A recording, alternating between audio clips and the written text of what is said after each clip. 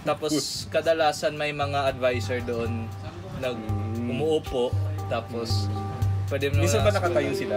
Minsan tapos umiikot.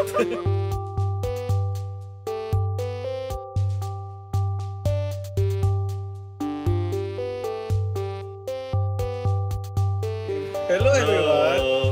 Hello. Yan, we're back Back. with our New episode. new episode. Yes, and Junior Planner at maraming batang naglalaro. Okay, hello. Hello, hello. At dahil, ano yung, ano, ano yung isa sa mga most requested nating natin. topic? Recently, in the past month, marami kasi nagtatanong sa page at sa akin mismo Hmm. kung okay ba yung video live. Okay. At lalo Oh. na yung mga products nila.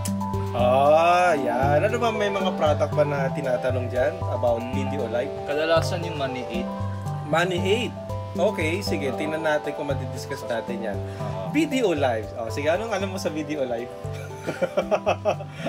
okay.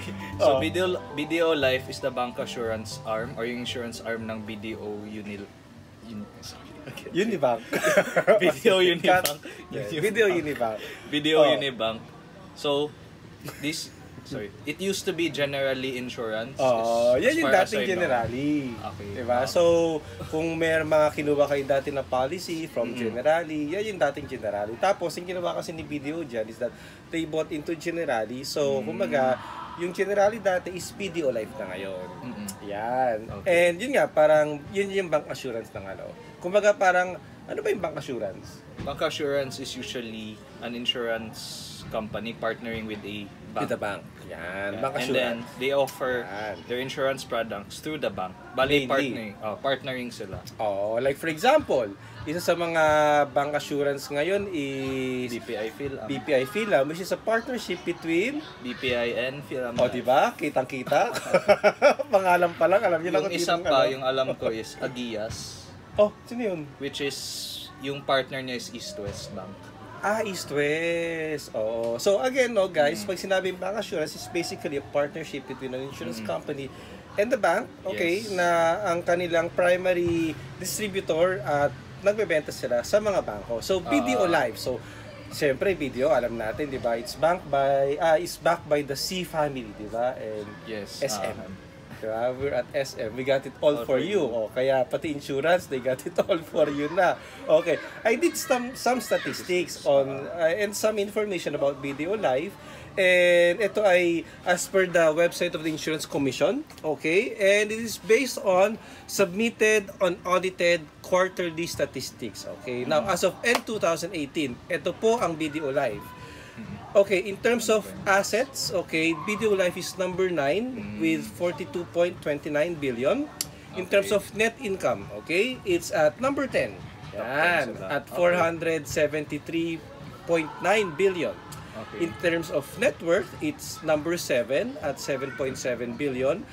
In terms of paid up capital, it's at 1.6 billion pesos. So bakit ba may Okay. mga ganito? Ano ba itong mga to?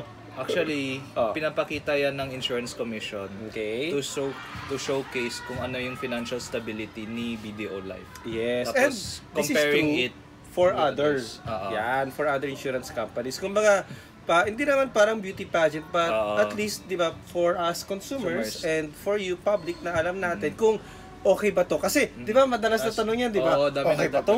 Okay ba to?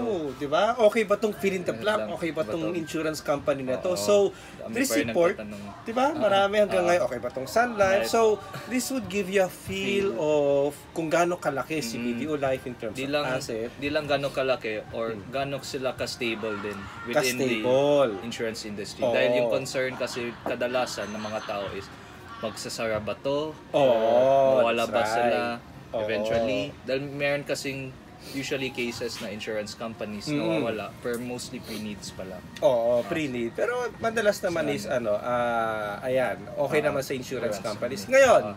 para sa tanong, di ba? Ang tanong, okay ba ang video live? O, ano sagot mo? Please look our video. Please look at video. Okay, On sige. Okay ba ano? itong Okay. That's one. That's Sige. one. Okay. Ngayon, para sa akin, sa tanong na okay ba ang video live eh para sa akin eh para mo kaming para mo kaming tinanong na okay ba ang Pfizer, okay ba ang Unilab, 'di ba? Okay ba ang Pediatrica? And all of those uh, ano ba pharmaceutical company. Kumbaga, look at insurance companies as parang uh, pharmaceutical firm, 'di ba? Hindi namin masasabi straight hand kung okay siya or hindi. Of course, titingnan natin no na in terms of finances okay siya but in terms of okay siya in light of the products na para sa inyo hindi namin masasabi. Bakit? Yes. Kasi baka mamaya kunwari, kunwari kailangan mo ng Oo. paracetamol, eh baka mamaya hiyang ka sa paracetamol from Oo. Unilab, 'di ba? Or Pfizer na O baka ka may allergy ka pala. O baka may allergy ka. mag-react ka. mag-react ka. So, hindi po pwede yun. So, kumbaga, in terms of kung okay si Bido Life, Mhm. okay, so these are the statistics. In terms of its finances, it's an okay company. It's backed by one of the biggest uh, conglomerates in the country.